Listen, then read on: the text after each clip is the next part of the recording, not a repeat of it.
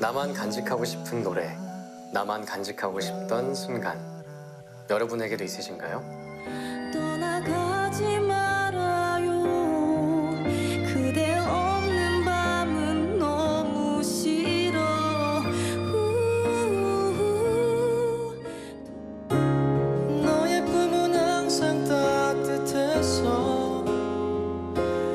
고단했던 나의 하루에 유일한 휴식처 오늘은 저희를 만난 여러분이 이 노래를 듣는 여러분이 주인공이 되어 보세요.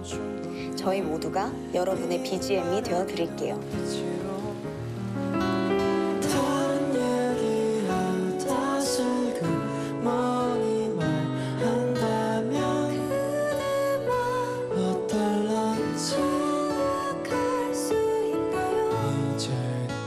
작품을 끝나면은 그런 그 외로움과 공허함이 밀려오는데 노래를 들으면 정말 위로를 받더라고요. 얘기했는데 그래도 버스킹은 열린 무대잖아요. 사실 누구나 할 수 있는 거고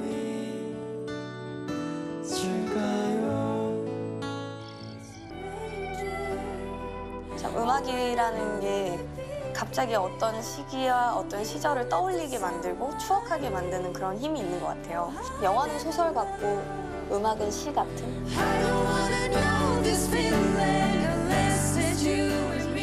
들으시는 분들에게 그런 추억할 수 있는 노래를 부르고 싶다는 생각을 간절하게 했습니다.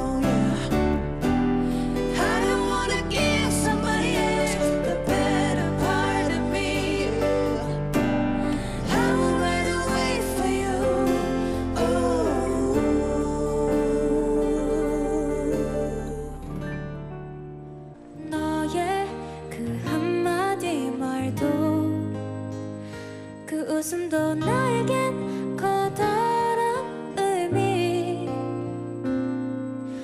너의 그 작은 눈빛도 쓸쓸한 뒷모습도 나에겐 힘겨운 약속 너의 의미는 뭐야?